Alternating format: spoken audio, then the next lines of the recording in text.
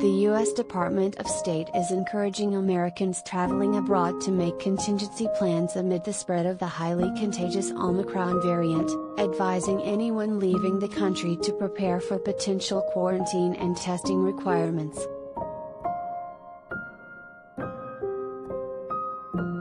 U.S. citizens who choose to travel internationally should be aware that they may face unexpected challenges related to COVID 19 as they attempt to return to the United States or attempt to travel from one overseas location to another, the department wrote in an advisory last week. U.S. citizens who do choose to travel internationally should make contingency plans, as they may have to remain in a foreign country longer than originally planned, which will be at their own expense. Additionally, the State Department also recommends people purchase international travel insurance that includes COVID 19 related trip cancellation and medical coverage, warning that Medicare and Medicaid do not generally cover overseas medical costs.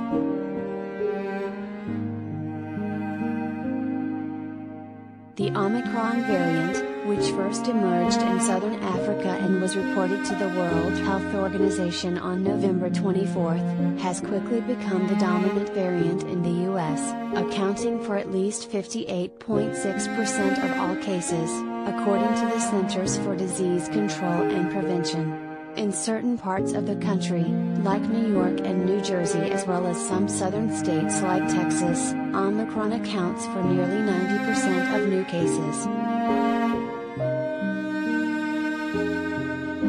The State Department warning comes as several countries have cracked down on travel, including Thailand, Germany, and France, while some have gone into lockdowns, like the Netherlands.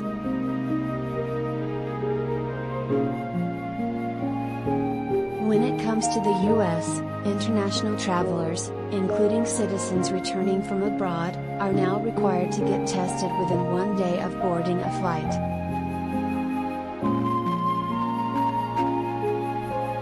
U.S. citizens planning to travel overseas or currently overseas and planning to return to the United States should also contact their airline for specific information about testing requirements for travelers, the State Department wrote. Airlines may adopt and modify their own specific policies to implement the CDC's testing rule.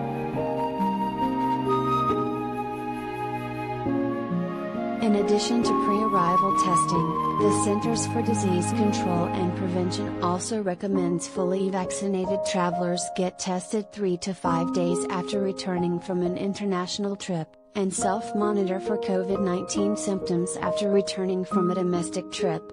Unvaccinated travelers should also get tested 3 to 5 days after returning from either an international or domestic trip and should self quarantine for a full 7 days, even if they test negative.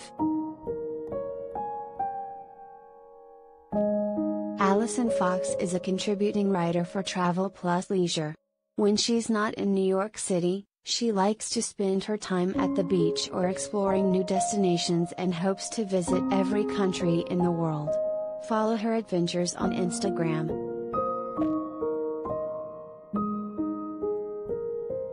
This story originally appeared on travelandleisure.com.